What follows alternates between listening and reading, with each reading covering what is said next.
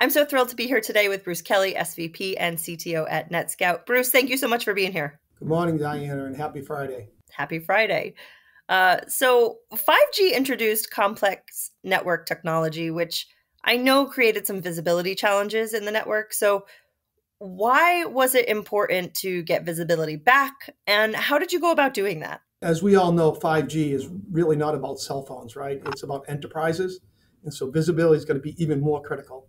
Like a human complaining about a drop call, they, they redial. But when you're on a manufacturing floor, or you're in a bank or healthcare, that's not going to cut it, right? And so when you look, um, 5G obviously low latency, high throughput, lots of services and all the verticals, but there's a paradigm shift that went on right? And it's 4G versus 5G is very different. It's I, I, I use an analogy. It's like changing all the wheels of the car. And what does that really mean? Uh, what it means is that cloud migration happened, right? So you were in a physical world with traffic going north, south, in and out of boxes. Now you're in the cloud. Um, and so at the same time, they went to edge computing. It was centralized. Now it's it's it's out at the edge, more places. And the third thing is when you move to 5G, because it's banks and hospitals and all that, they secure the environment, they turn on encryption. So all of these things are great, but they create challenges or new barriers. And those barriers are things were going north, south, in and out of boxes. Now they're in the cloud going east, west. And so observability products and security products now go blind. Whereas in 4G, they could see everything, north, south. And so NetScout took a leadership role and worked with all the equipment manufacturers. This would be the Nokias, the Ericssons, the Mavenir's, and so on, to make sure that you had access to east west traffic in an encrypted world. And so we worked on what's called virtual tapping, which allows us to get a packet 7 by 24 always on. And we used our experience to make sure that the quality of those taps was very high. And so the bottom line right now is the tools won't go blind we spent two and a half years on this in observability or visibility or securing this 5G environment is now possible. It seems like an important thing because one thing we know about 5G is that it kind of enables the connected world and the Internet of Things. That means, uh, from a security standpoint, there are thousands of more endpoints that need to be secured.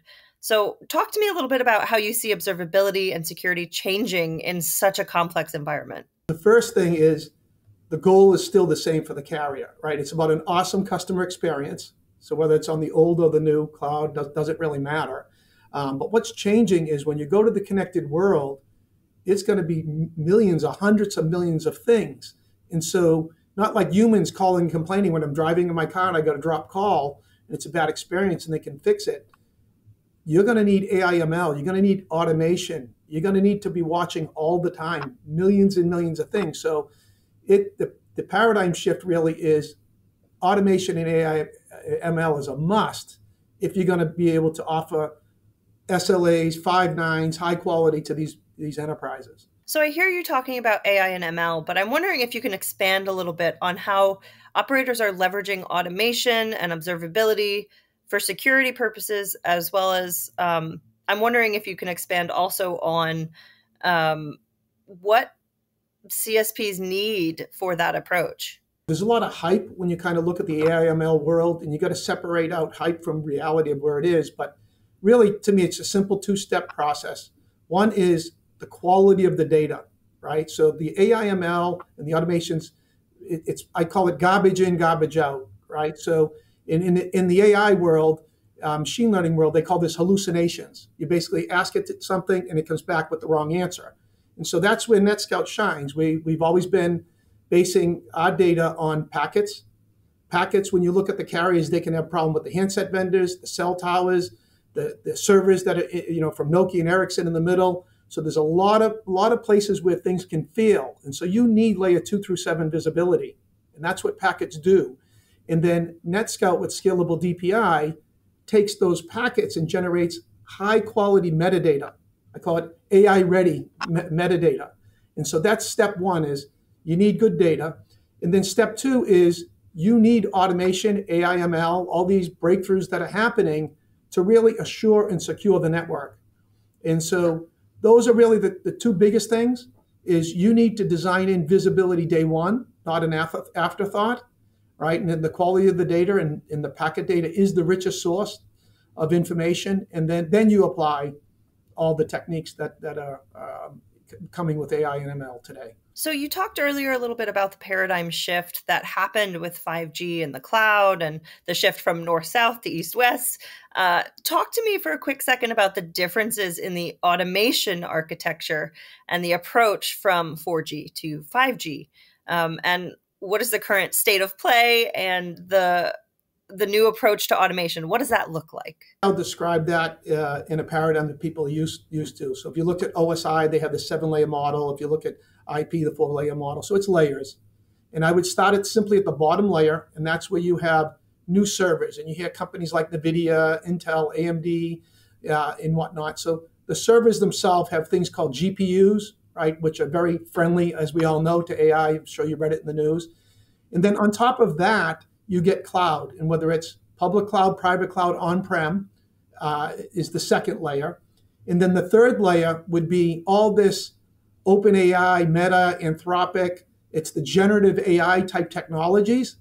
And these are just the foundation. This isn't all the rave. This is here now. It's really the rave is the layer on top of that. And the layer on top of that, there's going to be millions of what they call agents that are leveraging that generative AI stack with the hardware supporting it underneath. So there will be more agents than there are humans. And those agents, for example, could be healthcare agents. It could be a bot from a restaurant. It could be entertainment, banking, right? So that's what's happening is everybody in every vertical is going to leverage AI in their domains. And it's no different when you look at security, which is what in our observability, which is what NetScout does. You need to work on that same stack, right? So so the way that you're solving problems is changing. And and so it's very powerful, but if you're trying to do it the old way, you you won't keep up, right? And so so this is the big shift that's going on uh, in the industry, and you have to be able to separate hype from reality on where it is. It's very promising, but it's there's still a ways to go. All right, great place to leave it. Thank you so much. Thanks, and have a great day.